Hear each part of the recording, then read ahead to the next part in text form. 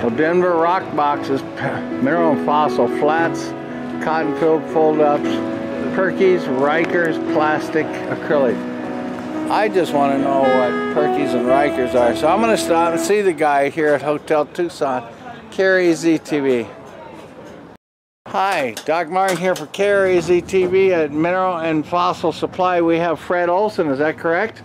That is correct. And tell us about a pike, you know, we are asking about pikey and uh, Okay, well, Perky. Uh, Perky. We have Perky boxes. We have all kinds of boxes. We have flats, fold-ups, Uh-huh. cotton-filled boxes for minerals and fossils for storage, transportation, display, know, and uh, you know we've been uh, doing this for 15 years. Uh, uh, so uh, we're here at the Gem and Mineral Show, and but getting back to Mr. Perky, it was a Fred Perky, I believe, and if I have the story, he uh, developed this uh, series of uh, little clear top plastic uh, hinged boxes with a black uh, base, and uh, came in very a lot of different sizes back in the 60s, 70s, and so forth. yeah. Uh, today, the when you say perky, most people think of the, what we have in a little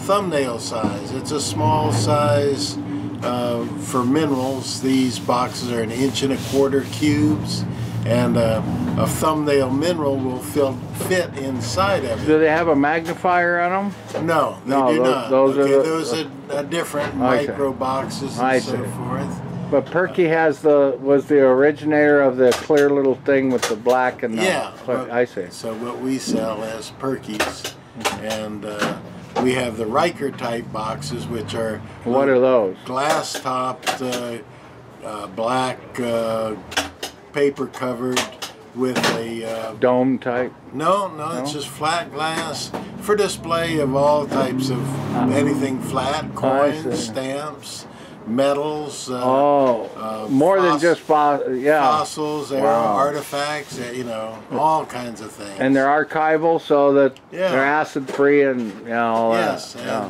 they'll keep things for centuries. Okay. Well, I'll put you on as a, a featured vendor down on KRAZ team, and, and we'll show some of your things. well, thank you. Thank you very much. Enjoyed talking. All right, from Mineral and Fossil Supply, Doc Martin and Fred Olsen. See you. Bye from Hotel Tucson 2017 Gem and Mineral Shows. Arizona Fossil Mineral here.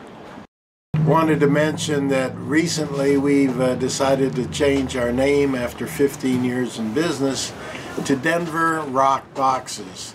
Our predecessor was Denver Box Company, and we think that Denver Rock Boxes, we're headquartered in Denver, and we sell boxes for rocks and minerals, fossils, and so forth. But we're in the box in- business, so You we specialize. we specialize uh, in a little niche business. We have customers all over the world uh, Japan, Russia, Australia. 15 years. Yes, I'm a oh, retired geology teacher. And, Where did you teach? I taught at the uh, uh, Santa Fe College in Florida, Gainesville, Yeah. Florida. How about 15 years teaching there. what about College of Mines, where you're you're up there? I bet- taught in Metro, at Metro uh, State in Yeah. Denver for a while. And you get to use their facilities and know everybody there. Isn't that fun?